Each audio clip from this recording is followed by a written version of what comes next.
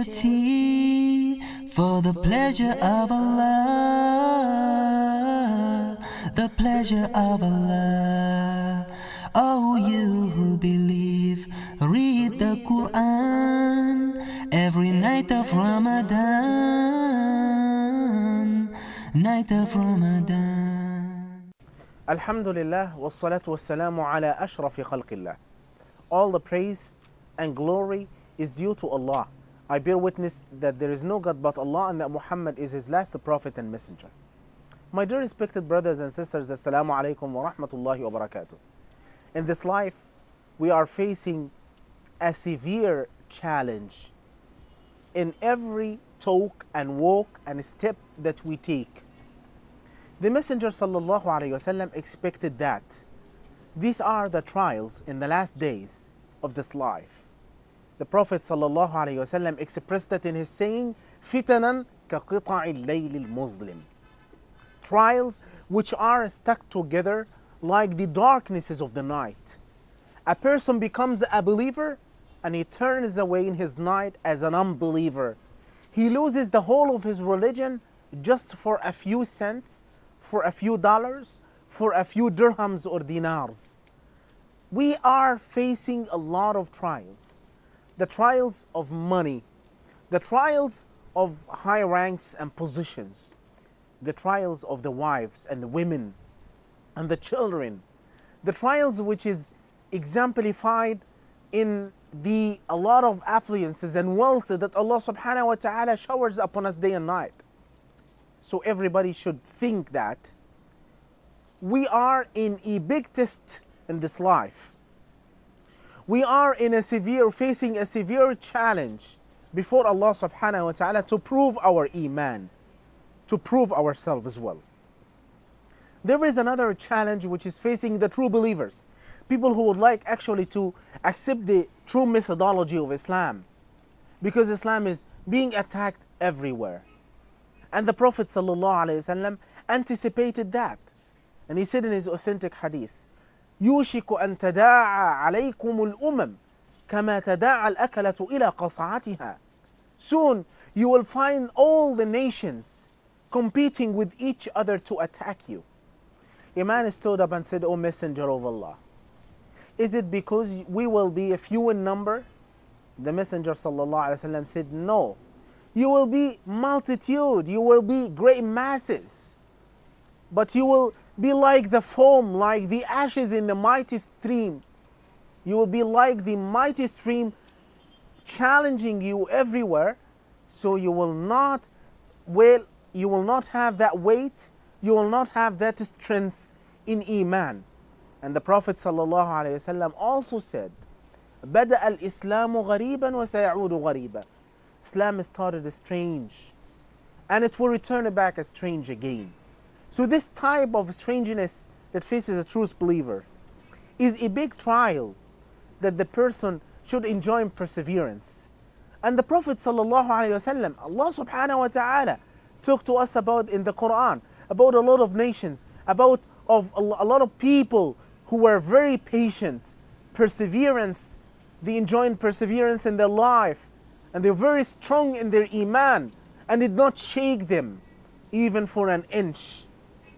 That's why there are a lot of reasons and there are a lot of ways and means of establishing the believer's feet on the straight path and being steadfast before Allah subhanahu wa ta'ala. On the top of them is the Quran, the book of Allah subhanahu wa ta'ala. And the Prophet sallallahu said, This is the best way of keeping yourself firm on the straight path. Because the Quran includes a lot of stories of people who are very strong, and this is strengthening the spirit of the believers. The Quran included the example of Mary, Maryam, the example of Asiya, the wife of Pharaoh. She lived in a palace full of persecution. A man who claimed for himself that he is the Lord of the worlds. A man who persecuted her day and night when he realized that she is a true believer until he fixed her fingers in the walls of his palace, crucified her, bleeding, and she did not leave her religion at all. Allah subhanahu wa ta'ala let her look in the sky, in the, uh, in the fogs, and he found in the clouds a palace which is made for herself She cried to Allah subhanahu wa ta'ala and said, رب ابن لي عندك بيتا في الجنة. O Allah, build for me a palace in the garden of paradise. ونجني من فرعون وعمله ونجني من القوم الظالمين.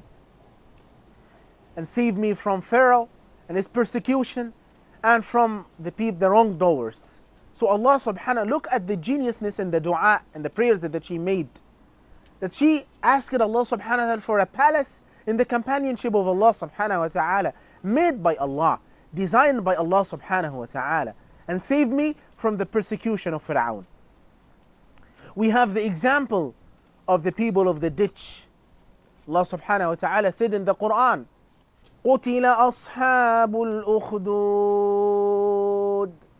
النار ذات الوقود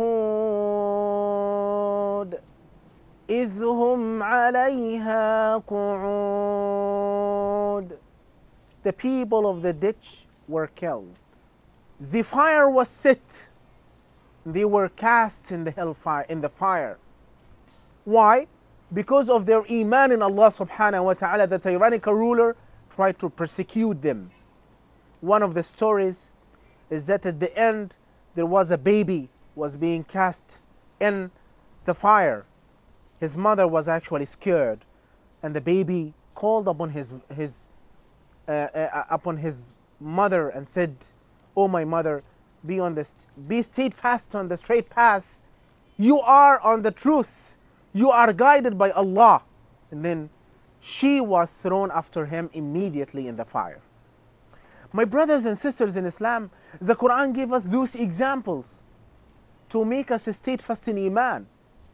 The sisters whose hijab is removed sometimes, the sisters who are insulted sometimes because of their hijab, because of their Islam, people who are being persecuted, put in the prison because they are true believers. Stay fast. Allah subhanahu wa ta'ala is rewarding you.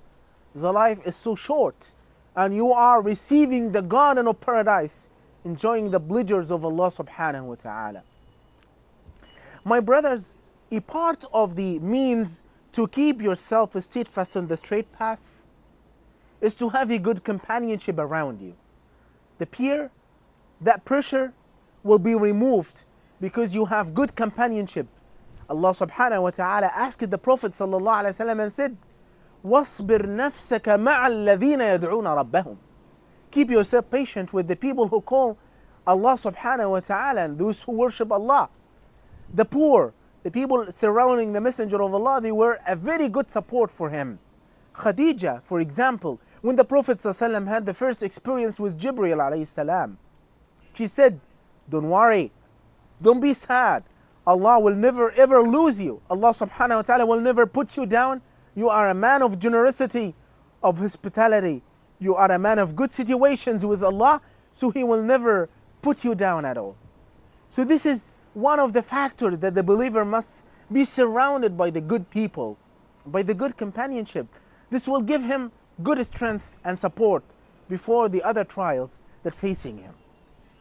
One of the best and important means of establishing the believer's feet firm on the truth is Allah's zikr, zikrullah, remembering Allah subhanahu wa ta'ala in all the trials and seeking true and sincere refuge in Allah subhanahu wa ta'ala.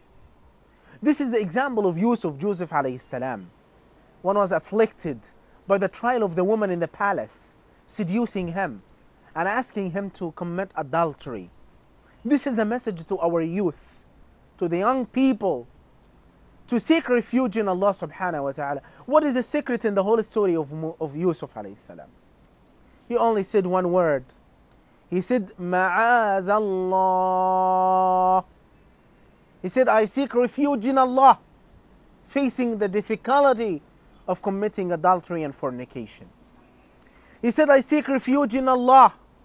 And he said, إلا تصرف عني كيدهن أصب إليهن وأكن من الجاهلين if you do not drive the shahwa and the desire away from me, I cannot face them by myself. I do not have the ability. That's why the believer should say this dua. Oh Allah, oh Allah, I'm innocent. I'm innocent. I'm clear. I'm clearing myself away from my howl, from my strength, from my own power. And I seek refuge in your own power, in your own strength, in your own help, in your support. These are some of the ways to keep yourself on the straight path, firm, established.